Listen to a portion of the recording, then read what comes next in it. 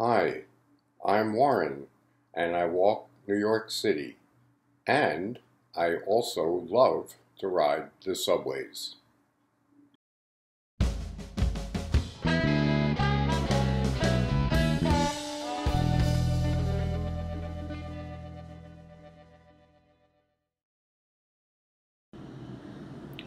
Well, you're at the World Trade Center. Somehow you got there either by subway, cab, bus, or whatever, maybe even walked, and it's time to leave, and you want to know how to take a subway to go somewhere. And here's how to do it. There are several lines that intersect at the World Trade Center.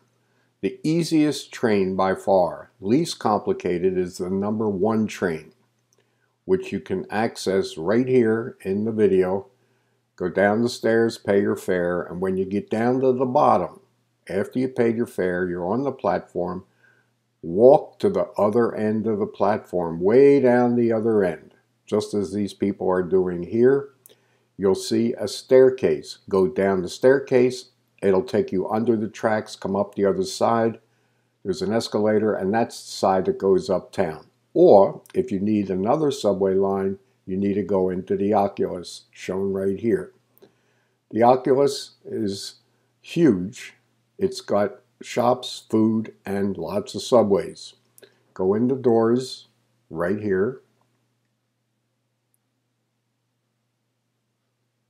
Walk down the stairs as this person is doing. And when you get down to the bottom, after you looked around a bit, you'll see on your left there's an Apple store on the higher level. Right there is the Apple store. Go down the escalator. When you get down to the bottom, hang a right and walk past that Apple store that you just saw. When you get past the Apple store, as you walk walk, walk again to your right. There's the Apple Store. You'll see a corridor eventually with a big sign over there on your left. It'll come back right now. That's the sign that says that's the way to all those subways. The E and the R train, and then all the others shown right here. Restrooms are to your left. If you go down this corridor, you can walk up that staircase you have to walk, and at the top of that little staircase, take a right, and that's the entrance to the E train. There are others. The other entrance to the E train is just where that sign said. However, if you want to take any of the lines shown here, you need to walk all the way down to the other end of the Oculus. The AC45JZ23WR trains are only accessible if you go through those doors and this becomes Fulton Center. As you walk through the doors on your left, shown right here, that's the entrance to the R&W lines. Those are the ones that go uptown. Be careful. Most people are heading uptown. Watch where you go. Uptown to the Bronx, uptown to Queens.